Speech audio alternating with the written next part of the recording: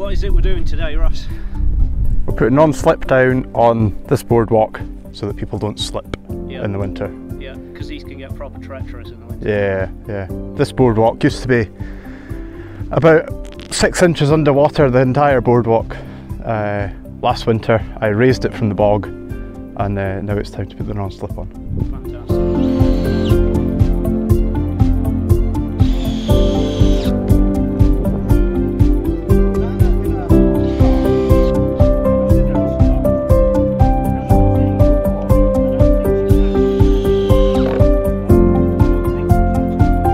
And is this typical work for, for you on a day-to-day basis, or, or is there any typical work for you? It's kind of at this time of year, it's very varied. Uh, I was cutting a couple of trees down this morning that were hanging over a path. I cut a path early this afternoon, and now I'm doing non-slip on boardwalk. So uh, very varied, really. Yeah. And Yeah. in the winter? Uh, building boardwalk, maintaining bridges, cutting more trees, putting on everything except cutting grass, really. Yeah.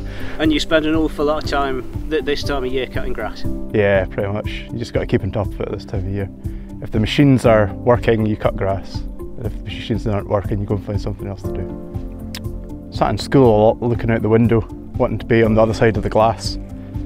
And then uh, at school, some work experience came along to work with a ranger on the Southern Upland Way, actually. So I went and worked with him, and uh, then just chose to go off and do a course that would get me into the job.